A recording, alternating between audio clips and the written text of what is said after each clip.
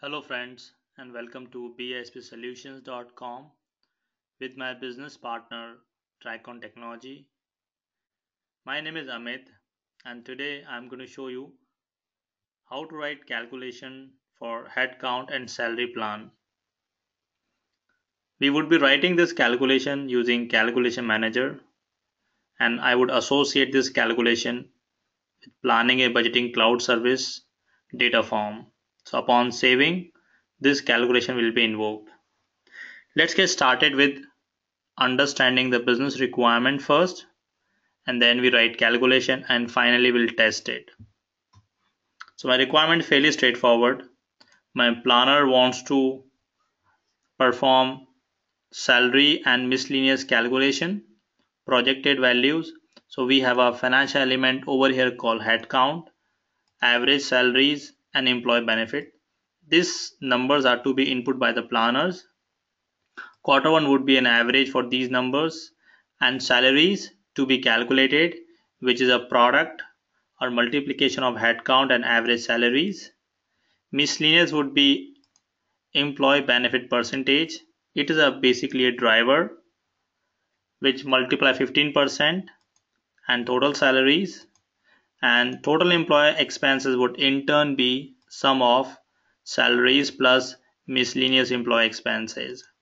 And these are your sum of total expenses of salaries total employee expenses for all the month and miscellaneous employee expenses. So in order to start writing the code for this first we need to understand what dimension members are being used. So you can start dimension structure and start picking up each member one by one. I start with head count. So use head count. It's an alias and the name is 9 triple zero. You could use the alias name as well. I would write over here head count. I already done head count alias name and member name is 9 triple zero. Similarly, you can find for average salaries. So you should be knowing the member name and the respective alias. Average cell is 9800. In the same fashion, I retrieve for other members. Is a list of the members required during our calculation. Now let's move to calculation manager interface. So I would close this interface and from navigation pane, I can start rule and I create new rule for my vision application.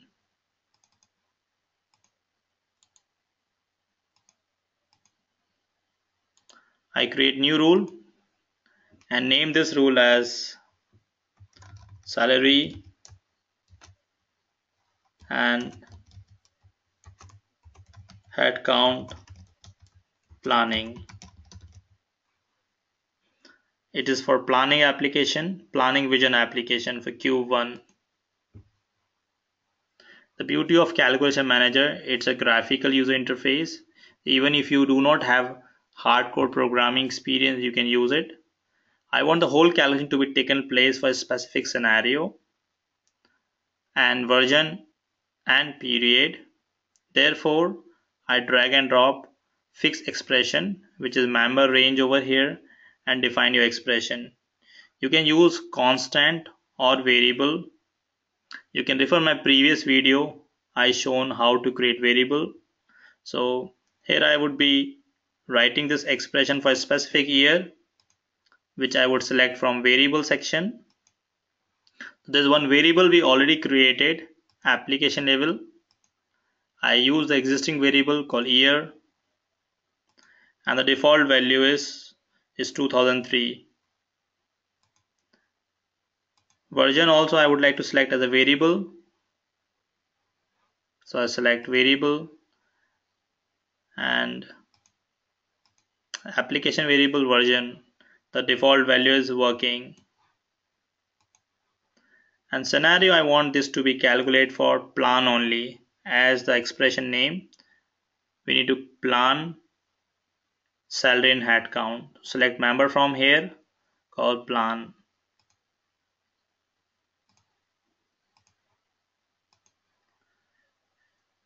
now I like this calculation to be taken place for a specific product and entity. Therefore I'm going to write nested fixed expression drag and drop. Another fixed expression. This seems to have some issue. Let's save this before we reload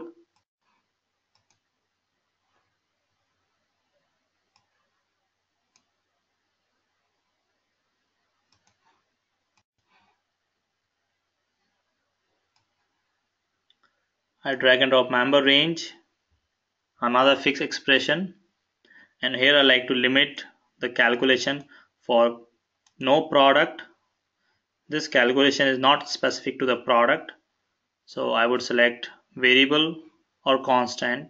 Here I need to select constant or member name as no product. So you have no product knows no entity one member where you do not want the intersection to be taken place. I use no product and finally I use entity.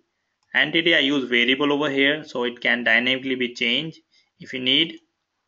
The beauty of using variable you can make your application dynamic and calculation as well.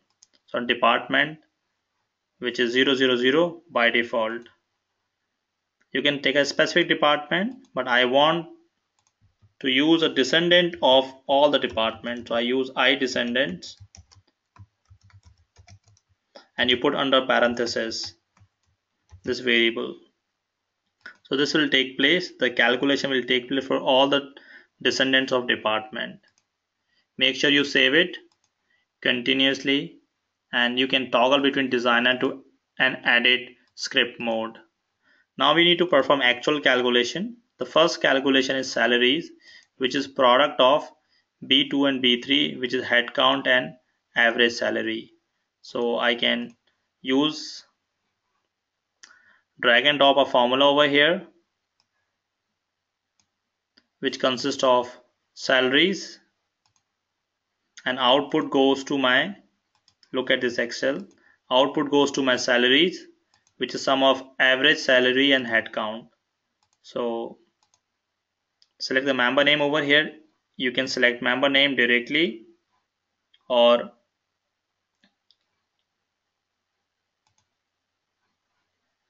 you can select from here a specific member name. I want salaries. You can search. As we already figured it out the member name is 5800 I can take salaries. To speed up the calculation in this example, I use specific member. The next calculation I directly copy and paste.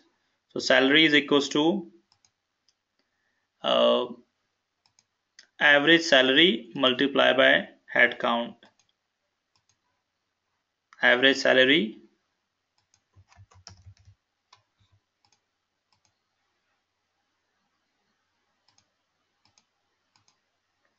you can search over here multiply by head count. So if you know head count which we already taken over here is 9000 head count you can use alias name and product name both. I want this value to be round off to two decimal place otherwise it appear for multiple values. So I'm going to apply a new function over here called round function. So the list of all the function over select over here I mean available you can select your function. I like to speed up so therefore I'm going to search it. Round function takes two argument expression and number of digits you like to round off. This is my expression and I want to round it off to two decimal place. The same I like to do it for second member which is miscellaneous employee expenses. Miscellaneous employee expenses equals to salaries multiply by employee benefit percentage which is driver. Select member.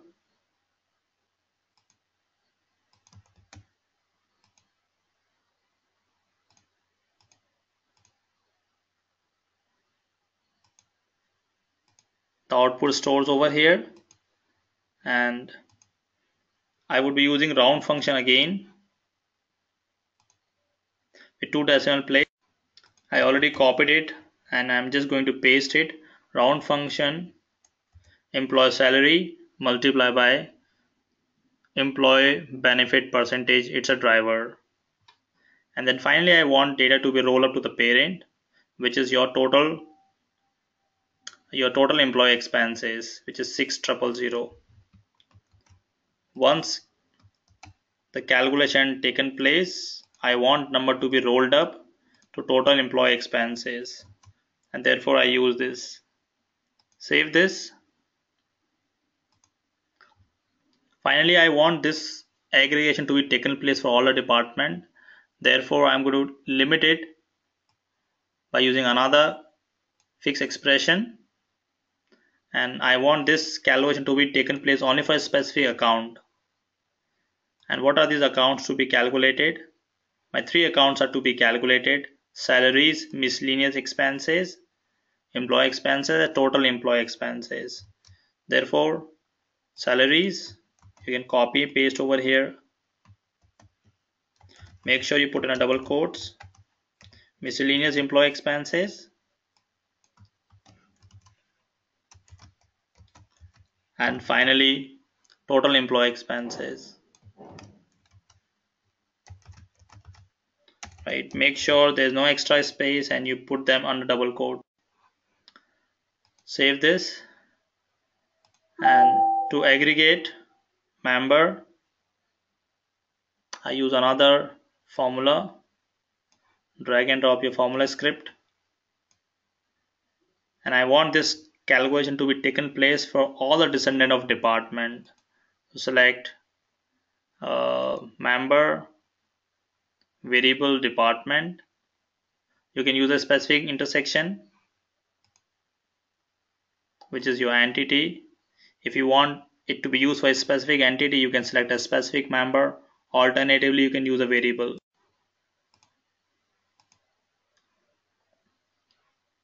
So I use variable department variable and I want again the calculation should be taken place for all the descendants of department. Save this and you can toggle to designer mode to edit mode. Have a quick look.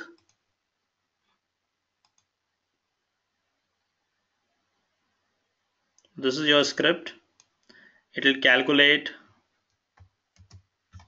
your total salaries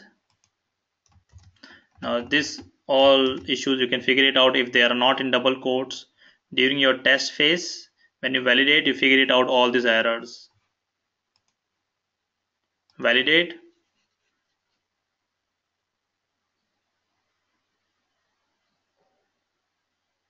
Note syntax error. Perfect. And finally we'll associate with data form and test it. So I already created a data form we'll associate with this and test it. I want this to be calculated on on save. So open your data form interface form and the one which I shown you in my smart list. This is my data form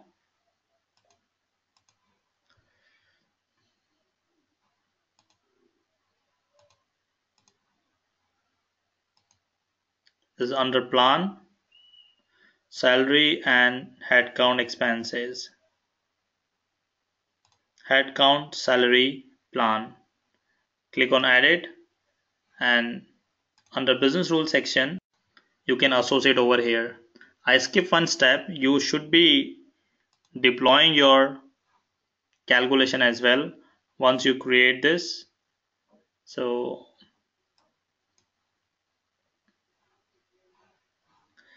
right click and deploy.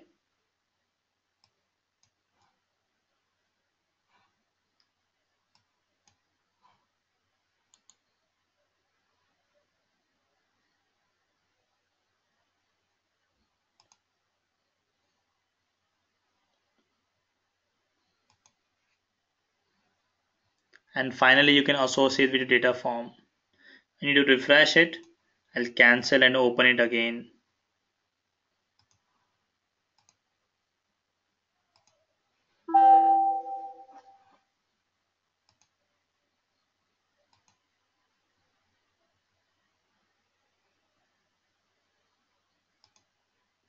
Open in edit mode and there's an option called business rule. You can attach a business rule. I already have one. I'm going to attach with a newly created business rule salary and headcount planning I want this rule to be invoked on save and I want to hide the prompt right once you've done this save it and finish the final step is to open this data form into smart list and validate the output so I already opened it into my smart list. You can directly connect to private connection and open it. If you are new to smart list, please watch my previous video using smart list for PBCS application. You refresh it. Make sure you okay. I need to define a credentials.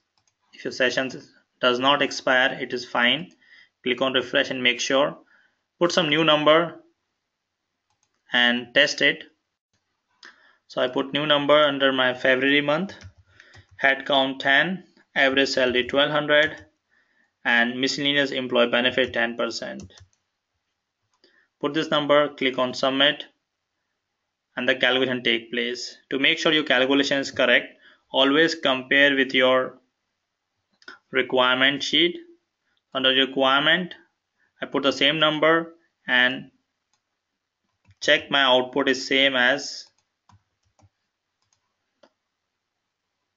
under variance so variance is nothing a difference between your your expected output you see it is all zero between the output rendered by calculation manager and your output required the one which you calculated in excel the variances are zero it means your calculation is absolutely perfect for the month of January, there are some variances. It may be a old value, did not refresh, therefore it happened. You can copy and paste for the month of January as well and make sure the numbers are correct. Now the variances are zero. It means it is absolutely correct. So we created business rule. We associate with data form. We deploy it, check for the syntax error, and finally we'll test it with some sample number and we found absolutely same number same output as expected so should you have any question related to consulting and training services please feel free to reach out to bispsolutions.com thank you